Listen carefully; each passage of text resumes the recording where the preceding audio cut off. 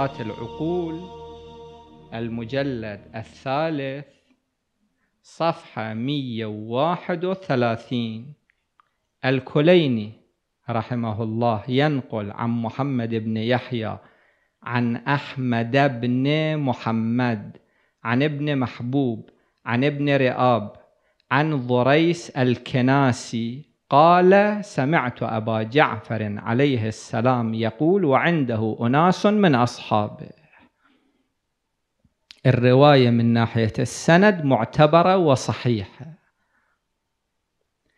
عجبت من قوم يتولون موالي. هذه المشكلة الجهل بالمقامات لا توجد في الخط الآخر. حتى توجد في ضمن الدائرة.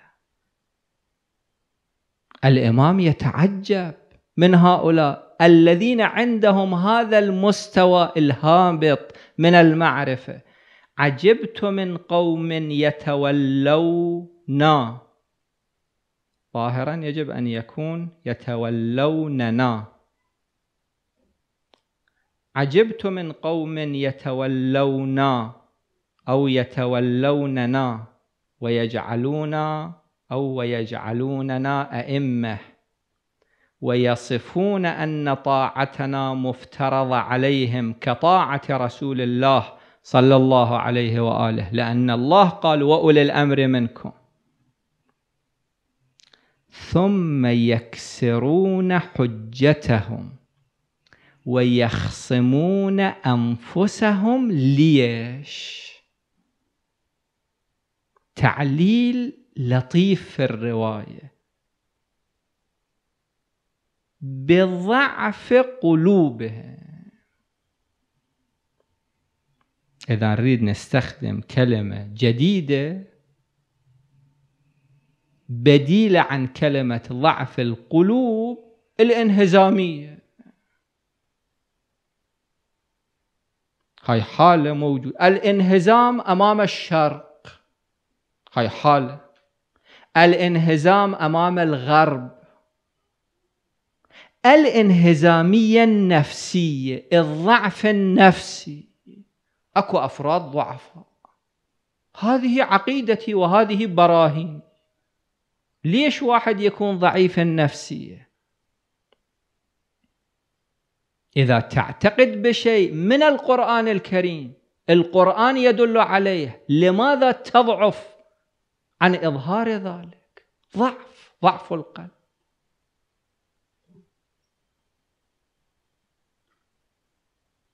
فينقصون حقنا.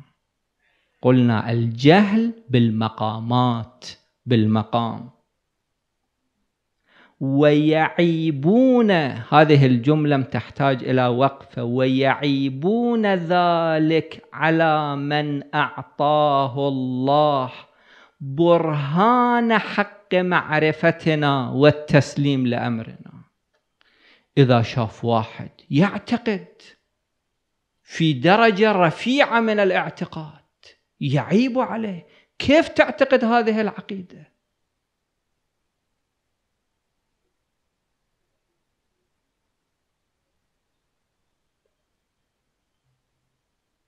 أترون أن الله تبارك وتعالى افترض طاعة أوليائه على عباده ثم يخفي عنهم أخبار السماوات والأرض ويقطع عنهم مواد العلم. أئمة أهل البيت النبي الأعظم الإمام الحجة يعلمون الغيب نقول ذلك. ولا نخشى من ذلك لأن البرهان معنا. إذا واحد عنده بحث خليه يجيب.